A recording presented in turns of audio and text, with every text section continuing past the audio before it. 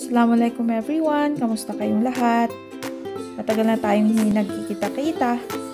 Hindi na kasi ako masyadong active dito sa YouTube. Sa araw na ito, maglalaga tayo ng mais or sweet corn, favorite ni Huda. Nabili lang namin ito ng mura. Tatlong kilo, 10 dirhams lang guys or 140 pesos. So, balatan na po natin sila guys.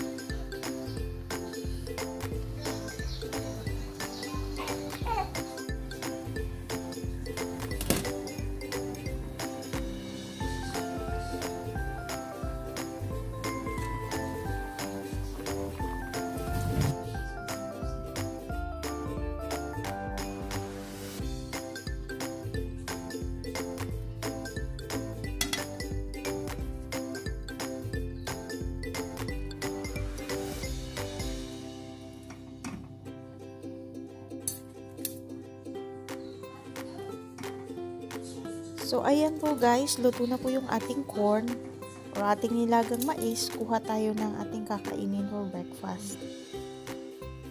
Yan, dalawa lang yung akin, tatlo yung kay Huda kasi si Huda, favorite talaga niya yan. Pero alam kong hindi niya mauubos yung sa kanya.